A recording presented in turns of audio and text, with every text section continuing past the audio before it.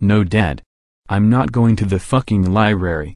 Well if you didn't get suspended from school for throwing books at people, then I wouldn't take you. Now get in the fucking car right now. No. I want to stay home and watch Family Guy. I said get in the car. Joey I picked this book out for you. It's Oscar and Otto Fly to Space. No dad.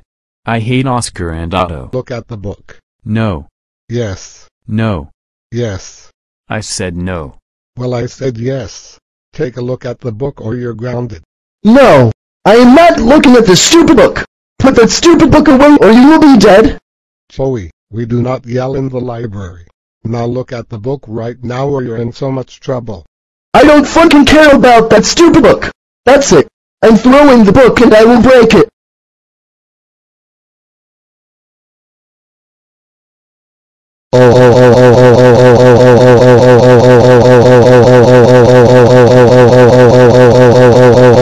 Oh, Joey, you bad boy, you bad, bad, bad, bad, bad boy.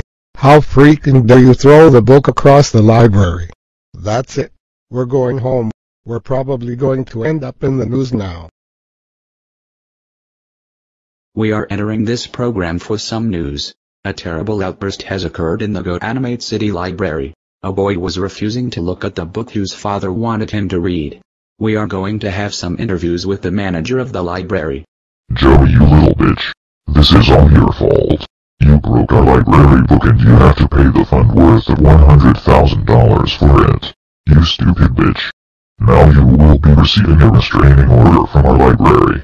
If you go 150 near the library, you will be sent to prison. Well I was going to get DD and Oscar and Otto book for her as well, and I saw this stupid teenager throwing a tantrum over the stupid book his father wanted to read. He threw the book and the whole book has been broken. Anyway Mr. Bradford, if you are watching this, I will not let your son go out with my daughter ever again. Your son is too dangerous and violent to be with DD.